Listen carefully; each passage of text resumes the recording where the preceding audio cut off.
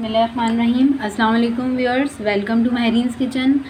आज मैं बना रही हूँ dates creamy milk shake cream optional है, अगर आप डालना चाहें तो डाल सकते हैं, नहीं तो उसको स्किप कर दें।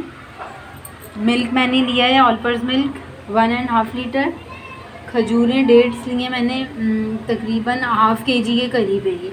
और शुगर जो है शक्कर ये भी अपने ऑप्शनल है क्योंकि खजूरें मीठी होती हैं तो अगर आप ऐड करना चाहें तो कर लें फोर टेबल स्पून वरना स्किप कर दीजिए। चलें स्टार्ट करते हैं। खजूरों की मैंने गुटलियाँ निकाल ली हैं, खजूरें डालेंगे जूसर ब्लेंडर में। ऑल पर्स मिल्क मैं यूज़ कर रही हूँ, आप जो डालना चाहें मिल्क पैक जो भी डेयरी आप यूज़ करें।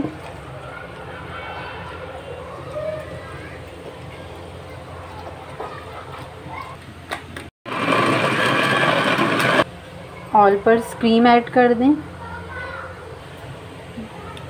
टू टेबल स्पून के करीब शुगर डालें, क्योंकि हमारी जो खजूरें मीठी होती हैं, इसलिए थ्री मिनट्स ब्लेंड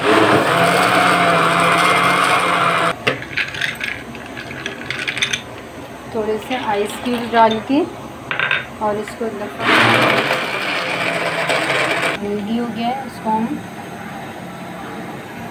में